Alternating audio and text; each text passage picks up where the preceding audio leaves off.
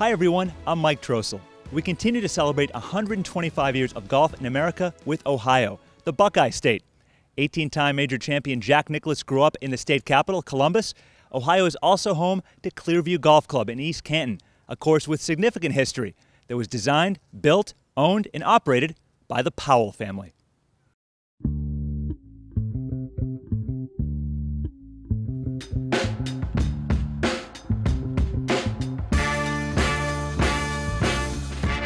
Father was William J. Powell, and he's who originated the course. He designed it, he built it, and ran it for his whole life.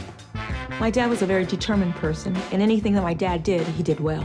Mr. Powell and his family overcame tremendous odds at a time when the ball game was heavily weighted against people of color in this country. I think Clearview is important because it's a reminder of what happened during that Jim Crow era, during the struggle for civil rights. There are people who make a difference, and there are people who break barriers. And Mr. Powell is one of those individuals. This man built this golf course because he wanted to play golf. Golf is exclusionary, so it's not like he opened a grocery store. He did something really outside the box.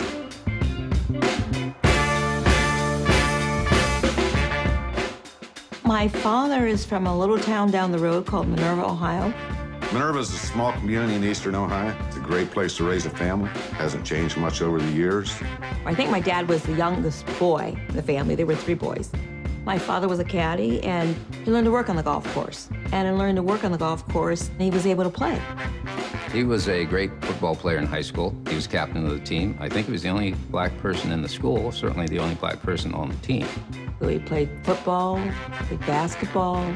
He and his older brother started the very first high school golf team at Minerva.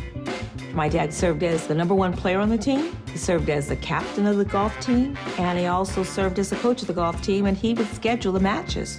He and his brother were able to play, but after my dad got out of school, he was no longer welcome at those same golf courses that they had played the golf matches at. Mr. Powell served in England in World War II. He was in charge of a truck unit that was instrumental in conveying troops to the embarkation ports in England for the D-Day invasion. If you love the game of golf and you are sent to war, I guess the best place to go is to Scotland. On various days when they had downtime or a little bit of time off, the members would let him use their golf clubs and he'd go out and play.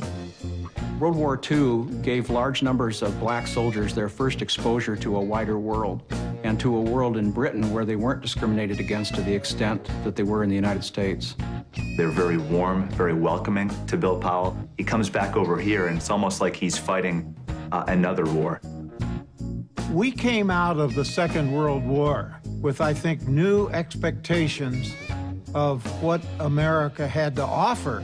They came back as heroes. And so African Americans joined this parade of hope and optimism. When he came back from World War II, he was very disappointed that the attitudes were the same as when he left. He was going to find a way to make a difference and to make a change. In 1946, when you think of it in the context of racial relations in our country, it was a turbulent time, and there wasn't a lot of opportunity in sports for black players to participate.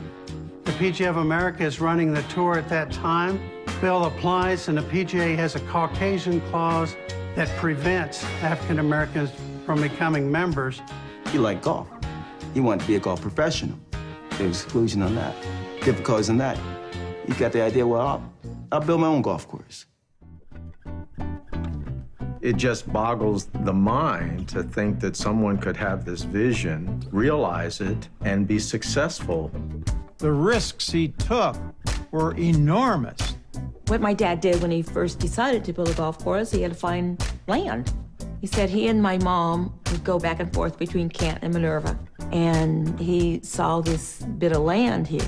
It was a rundown dairy farm. He told my mom that would be a perfect place to build a golf course. He faced a lot of discrimination, some subtle, some not so subtle. He needed financing to help build this course. He was denied a GI loan, which was uh, supposedly the right of all returning veterans, and he was denied it because he was a person of color. The first nine holes he built basically by hand, literally walking back and forth, back and forth with just a hand seeder around his neck and turning that, seeding the entire golf course each fairway. But the course wasn't just laid out at one time. Couldn't afford to do it that way. We're doing piece, piece by piece. The fact that he worked at the Timken Company from 3 to 11 p.m., a full-time job, and then got up at the crack of dawn, 5.36 in the morning, and worked on the course. It was unbelievable. Day after day after day, always in that tractor. Never quit working. Bill just believed that there was no black or white, that everybody should be the same. And his golf course was going to be open to everyone.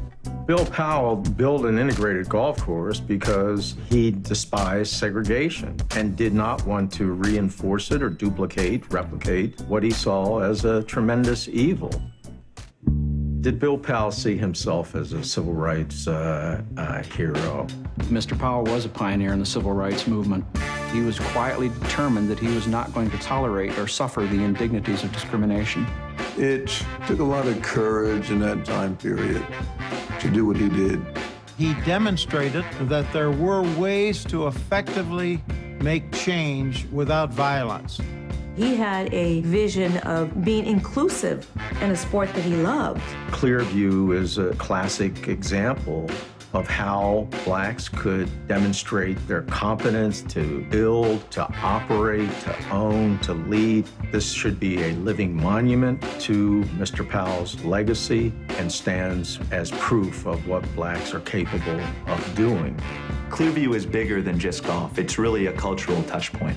You know, it's something that not just African Americans, but everyone can look at and say, this is an important institution because of what it stands for.